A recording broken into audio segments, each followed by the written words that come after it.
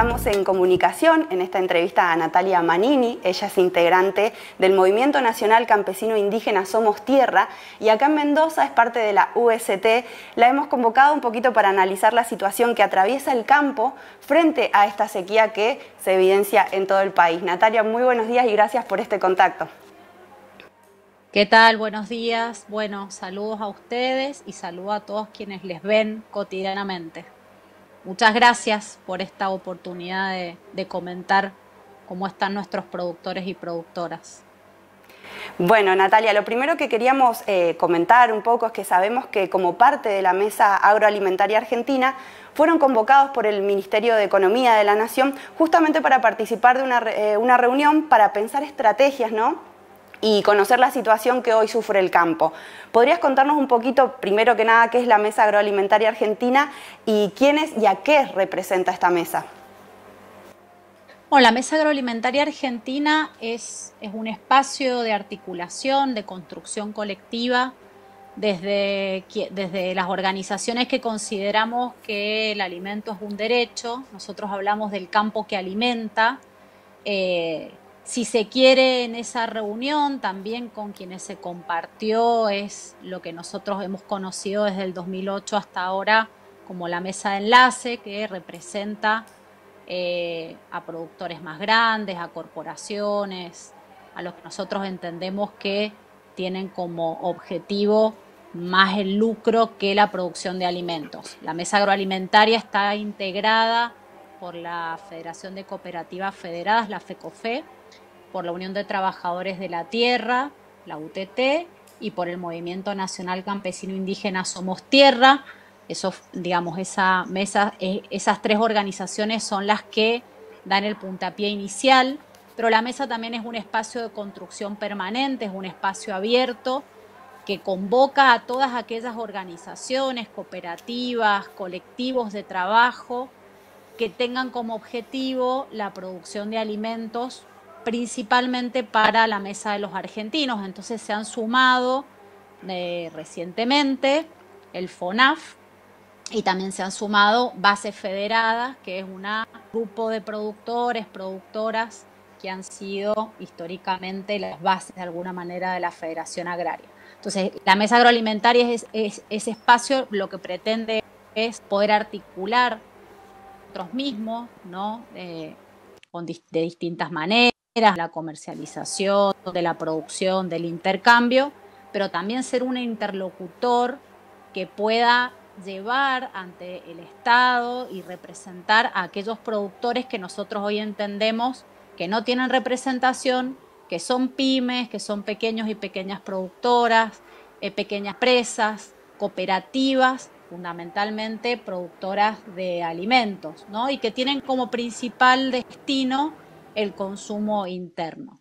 Ese espacio de representación, como les comentaba más temprano, es un espacio que está en construcción y que, bueno, eh, estamos muy contentos porque hemos logrado de alguna manera eh, llegar a, a, poder estar discutiendo y proponiendo en las distintas provincias y con el Estado Nacional lo que le pasan a los, a los productores pequeños. Bueno, en este, en este sentido entendemos que desde la mesa ¿no? de agroalimentaria se han presentado diversos proyectos eh, de ley justamente para afrontar esta sequía y poder eh, promover todo lo que nos estás contando. ¿Cuáles son estos proyectos y cuáles son los objetivos que se han planteado con los mismos? Particularmente cuando hay algún fenómeno climático que, ocurre sobre todo cerca de Buenos Aires, que por ahí nosotros acá en Mendoza padecemos, venimos padeciendo desde hace varios años una crisis hídrica profunda, eh, además de otras contingencias que las podemos conversar un rato. sequía, la peor que se recuerde, o sea, de los últimos, de varias décadas atrás, entonces verdaderamente es algo complejo en ese sentido, lo que nosotros diagnosticamos de la mesa alimentaria es que para aquellas empresas grandes, pools de siembra, multinacionales que se dedican a los granos, probablemente lo que ocurre es que este año no ganen tanta plata o no puedan comprar un tractor nuevo o no puedan incorporar nuevo personal, eso es lo que uno les escucha este, manifestar. Para un pequeño agricultor puede significar esta, este, esta sequía quedarse totalmente afuera de la producción, ¿no? Entonces, en ese sentido, la mesa agroalimentaria lo que propone son algunas medidas que son inmediatas, o sea, esa asistencia, esos productores, alguna forma de crédito blando, de fondo rotatorio, de asistencia directa, esa condición crítica, alimento para sus animales o alguna forma de poder volver a comprar insumos para volver a producir. Y en eso insistimos, los alimentos que comen los argentinos. No estamos hablando de cuestiones meramente especulativas o, meramente comerciales. Las organizaciones que venimos, que integramos la mesa, venimos trabajando hace muchos años en propuestas más estructurales. Entonces, estos cinco proyectos de ley, que son cinco propuestas concretas de trabajo que se expresan eh, en, leyes especiales, bueno, tienen que ver con transformaciones que van a de la no como nosotros entendemos que hay que modificar el sistema agroalimentario argentino. Estos proyectos de ley son, son tal vez un camino a esa transformación que nosotros la entendemos con una prioridad, lógicamente, a, lo que nosotros llamamos los alimentos para la mesa de los argentinos. Esto es la producción hortícola, la producción frutícola de carnes, de huevos, ¿no?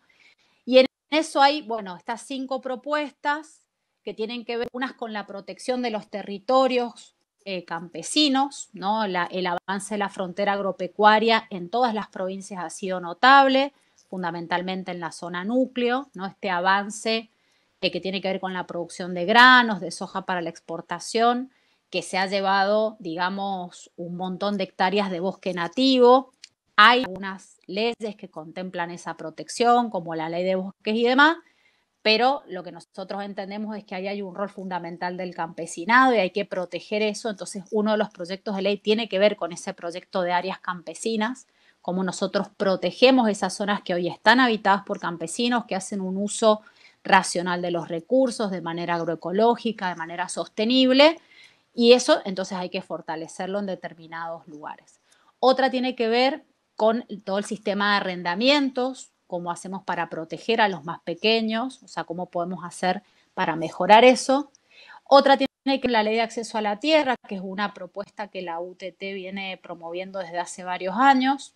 La idea es que nosotros podamos promover o que el Estado pueda promover en determinadas zonas el acceso y que esos productores puedan pagar, como muchas familias de este país pudieron acceder a su vivienda urbana, este, a través de algún crédito blando, bueno, que, los compañeros y compañeras puedan acceder a ese crédito. Y después algunas otras leyes que promueven la forma que entendemos en las que hay que organizar el campo en la Argentina, que es a través de las cooperativas. Una forma solidaria, colectiva, distributiva, eh, y entonces en la cual hay una distribución, digamos, no solamente de los insumos, de la tierra, de las personas, sino también del poder. Nosotros vamos, si nosotros pensamos que nuestra producción de alimentos cada vez se concentra más y está en manos de menos, de menos empresas, bueno, estás perdiendo el dominio sobre algo que es fundamental, que es la comida de la gente. Entonces, para nosotros los modelos cooperativos son los modelos con los cuales nosotros promovemos la organización en las zonas rurales. Entonces, también hay una ley que promueve eso. Y finalmente, la agroecología, nosotros tenemos enormes dificultades de contaminación de suelo, de aire y a su vez un modelo que promueve, o sea, el modelo tradicional, eh, una cantidad de insumos excesiva, carísima porque están dolarizados y que dependen de la producción de petróleo de síntesis química. Entonces, ese modelo está agotado, ese modelo nosotros entendemos que no solucionó el hambre de las personas porque tiene que ver con otra cosa, no es con hacer negocio. Y entonces promovemos la agroecología como la, la única alternativa, y en eso la vía campesina internacional es muy clara también y lo promueve a nivel mundial, es la única forma no solamente de sostener el planeta, sino de alimentar a la población. Porque también tiene que ver con un debate de qué produzco, para quién y a qué precio, ¿sí? Bueno, Natalia, preguntarte también, este es un año difícil, es un año electoral. Eh, hace poquito en la vendimia tuvimos la visita del ministro eh, Massa acá a la, provincia, donde hizo una serie de anuncios y medidas que podrían eh, beneficiar a algunos productores. entendemos que los grandes bodegueros estuvieron contentos con algunas de estas medidas, pero bueno, preguntarte en este contexto electoral y con las medidas que se están anunciando, ¿hay expectativas tanto a nivel nacional como provincial de que sean escuchadas las demandas de este otro campo? Mira, nosotros hemos eh, expectativas tenemos siempre. Obligación como militantes políticos, sociales y, de este sector el tenerlas y el ir a proponer todo el tiempo con todos los gobiernos. Eh, hay gobiernos en los que uno tiene un poco más de permeabilidad. Nosotros con el gobierno nacional tuvimos la oportunidad de sentarnos con los que históricamente se sentaban a discutir estas políticas nacionales y nadie más, y entonces la mesa agroalimentaria fue parte, eh, y eso para nosotros fue algo importante porque entendemos que se escuchó a una parte que a la que habitualmente no se le escucha. En, realidad, digamos, con los anuncios más locales, uno lo que puede, que podría uno mm, de alguna manera ver como positivo, digamos, que de alguna manera el gobierno nacional atendió a un reclamo eh, local que no tiene que ver solamente con darle bolilla a los grandes exportadores de grano. Ahora, uno también duda de hasta dónde es esos beneficios o esas políticas que se promueven lleguen a nuestros pequeños productores. Y a nivel provincial, bueno, nosotros en la vendimia tuvimos la oportunidad con la mesa agraria de acá de Mendoza, que compartimos con muchas otras organizaciones que también este, desarrollan sus actividades en la ruralidad. Eh, tuvimos la oportunidad de hacer un verdurazo, que es, como la, actividad reclamo, pero al mismo tiempo nosotros lo entendemos como un diálogo con los ciudadanos, con la ciudadanía. ¿no? Nosotros, Argentina tiene una enorme concentración de su población en las ciudades, Mendoza también. Y entonces para nosotros es clave desde las organizaciones agrarias, cómo nosotros dialogamos con los ciudadanos y a su vez reclamamos por lo que nosotros entendemos eh, son políticas públicas prácticamente nulas para el sector.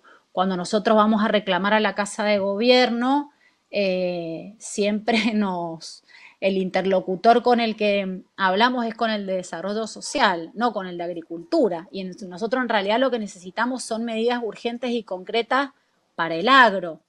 Y desde la provincia la verdad es que lo único que recibimos son, bueno, negativas. O sea, no hay institucionalidad para la agricultura familiar a nivel provincial. Por ahí, bueno, un desafío grande que tienen para este año también en seguir la lucha, seguir la organización, en un contexto provincial también bastante eh, complicado por lo que nos estás contando y con una crisis climática realmente que está afectando eh, fundamentalmente la producción. Así que la verdad que muchas gracias, clarísimo todo lo que nos has contado y bueno, seguimos en esta lucha y seguimos acompañando también al movimiento campesino indígena en la provincia, en el país y en todo la, el mundo, ¿no? los agradecidos somos nosotros y ojalá, bueno, digamos, siempre poder charlar con ustedes es grato, eh, siempre poder contarle a más gente quiénes somos, qué hacemos, por qué lo hacemos, eh, también es para nosotros, digamos, es, parte de nuestra tarea, eh, es parte del rol que tenemos que hacer, pero también es, es, invitación al ciudadano a que se comprometa, a que, a que vea siempre nosotros decimos, ver más allá de, la, de la verdura, la hortaliza o el producto que yo tengo en la mano, es pensar quién lo hace, cómo lo hace, por qué lo hace, ¿no? Y poder darle esa relevancia, esa importancia. Entonces, bueno, los agradecidos somos nosotros de tener la oportunidad de poder compartir con ustedes y con todos, eh, con todos los ciudadanos y ciudadanas lo que nosotros estamos promoviendo y lo que entendemos que nos permite vivir mejor a todos, ¿no? Eh, no hay un posible sin soberanía alimentaria y eso es algo que se construye todos los días y no es solamente una responsabilidad de las organizaciones, eh, es una responsabilidad de todos.